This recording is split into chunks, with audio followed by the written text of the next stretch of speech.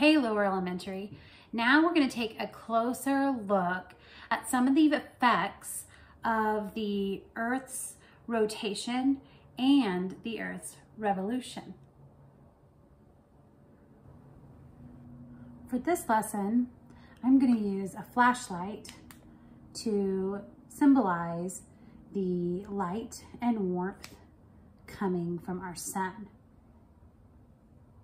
Now the sun doesn't move, but the earth does.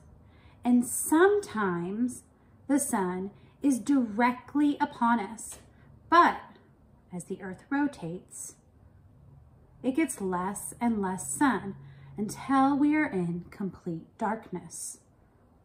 This continues, rotation continues, and this continuous rotation gives us night and day.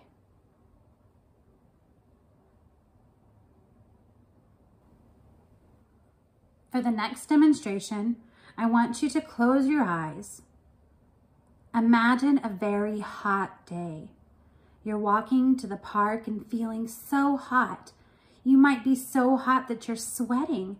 You might even say, it feels like all the sun's heat is upon my head.